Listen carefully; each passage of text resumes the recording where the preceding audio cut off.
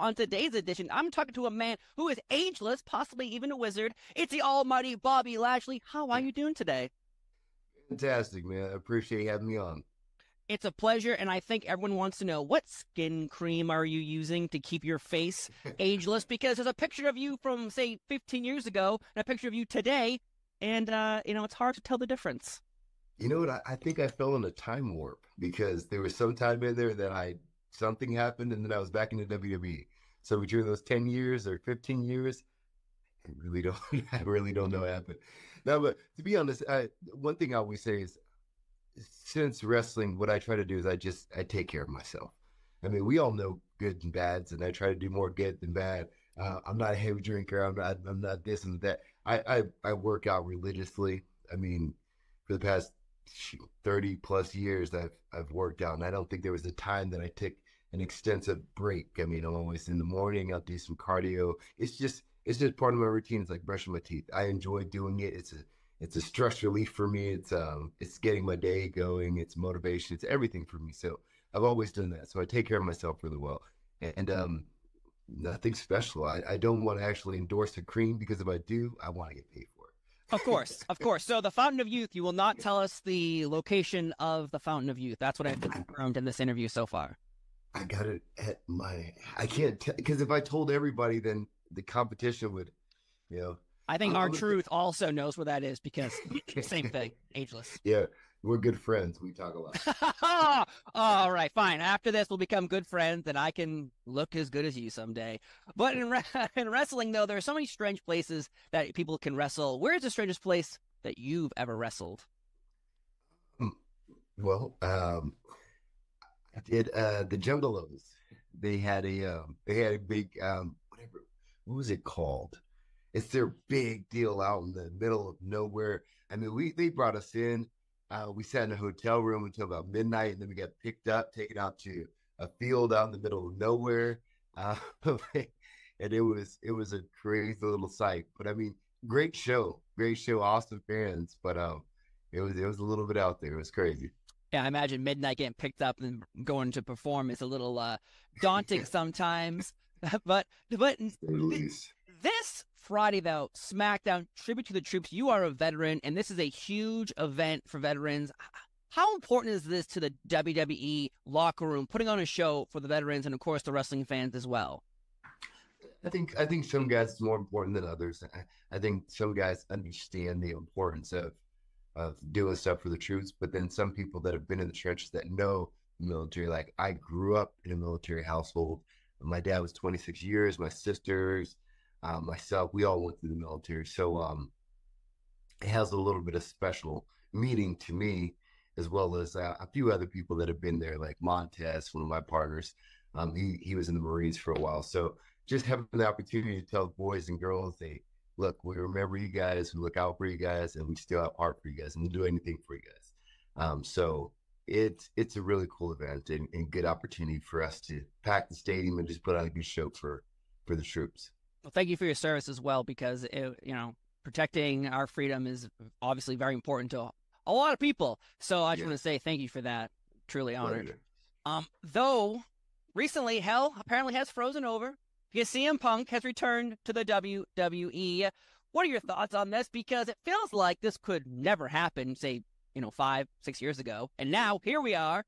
I was in Chicago for Survivor Series, and when that music hit, that building was shaking. What are your thoughts on this? I really don't know, to be honest with you. Um, I was actually leaving around the time when Punk was really starting to pick up a little steam. I mean, he was there, but he really didn't do anything at that time. And I know he had a big impact in WWE at the time, uh, in his time there.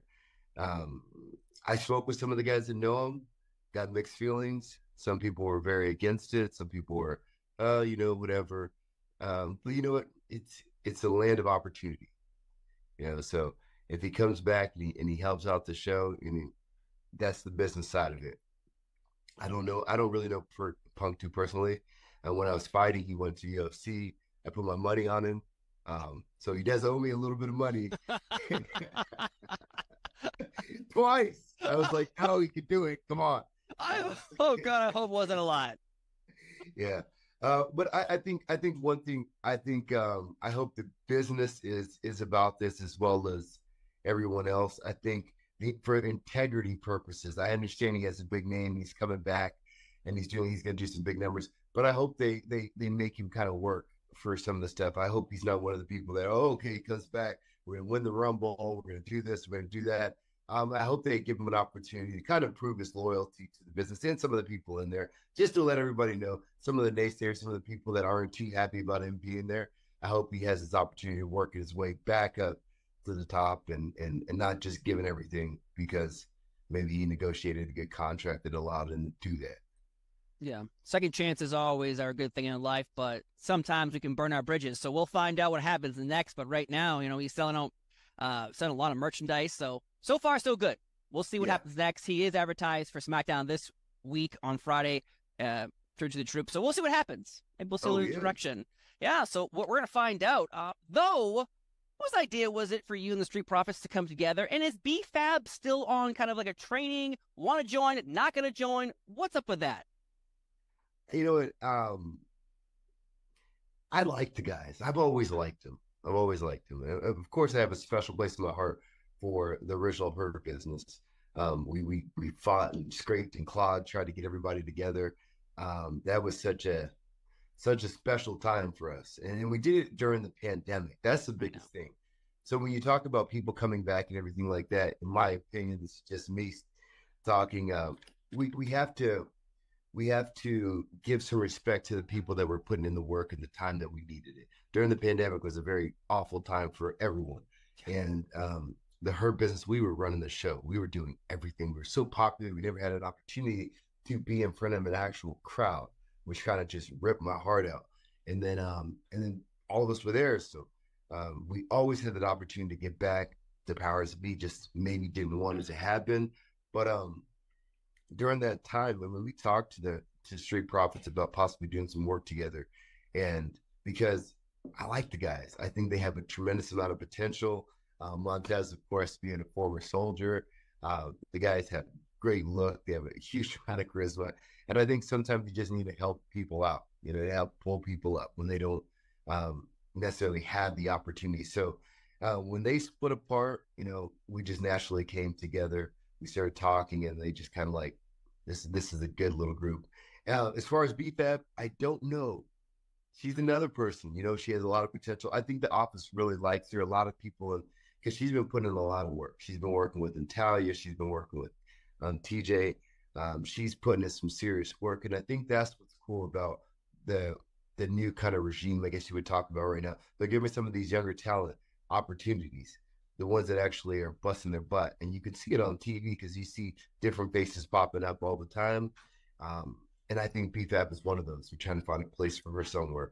If she has an opportunity to come with us, know, kudos. I like her so far. I think she is an incredible talent. I think she has a lot of possibilities, and um, and, and a lot of potential. So we'll see. I mean, the, the, that's that's a lot of rambling, but at no, day, I love it. I, I love it. I think she is. I think she's awesome. I think that she has some some great potential. But um, my direct focus is on seeing those titles around the Street Profits again. I mean, they just it would just look good on it. We look we wear black and gold anyway. Gold titles. I mean, or the silver titles. We can we can we can switch. yeah, we can change it up yeah, whatever needs to um, happen though. But whatever needs to happen, they need to have those titles. Yeah, I'm so happy you brought up the Hurt Business because the Hurt Business is one of those groups that everyone adores and loves, and there's a picture of you with the World Championship and Cedric and Shelton the Tag Championships and MVP standing there as well. It is one of the best photos ever. And the fact that when you rolled into WrestleMania 37, during the pandemic and half the arena was filled, the Hurt Business broke up before that, which suddenly a crowd was there and we couldn't get them in front of an audience. Though WrestleMania yeah. 37, you're the first matchup, and then a thunderstorm rolling in, and that delays the start of WrestleMania. How are you feeling backstage? Because I imagine as you're preparing to go out there, you're getting pumped up, you're getting ready, you're getting in the zone, and now you have to kind of suddenly cool down and get back up again t- tell me through that process because that was a crazy thing. Because on Peacock, they deleted the first 20 minutes of WrestleMania. You and Drew backstage doing like interactions before the match, that doesn't exist. Oh, damn. Well, um, I tell you what, for us, it didn't matter. Like there was no there was no getting up and getting back down. It's WrestleMania. I was always up, and I was already up, and, and it just kept going farther, further, and further. Me and Drew, we were about to fight backstage.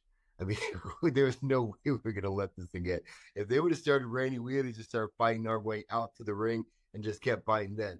And that's mm-hmm. what I like about him. Drew is that guy. And I was already that guy. You know, I've always been that guy. So it was a little crazy, but at the same to- the same time, I mean, it made it special. You know, yeah. with, with the pandemic before and everything else, it was like there's no way that that was going to just go off perfect. It was like sunny for the entire summer, right before WrestleMania. Boom, there's there we go. It's I, crazy. It was a crazy evening, and then you know this past year you weren't even on WrestleMania. And yeah. to me, it was crazy because you had a storyline with Brock Lesnar earlier in the year, and then suddenly rolled into WrestleMania. No, we were thinking Brock versus Bobby WrestleMania type match. Why weren't you on the card? And frustration obviously must have been filling up your mind and body because I'd be pissed too. I mean, I was beyond disappointed. I'm not going to say this. I'm going to say disappointed hmm. because I am a kind of chill person. Um, and the thing that disappointed me the most is all the work that I put in. You know, we have live events throughout the year. I'm on all of them.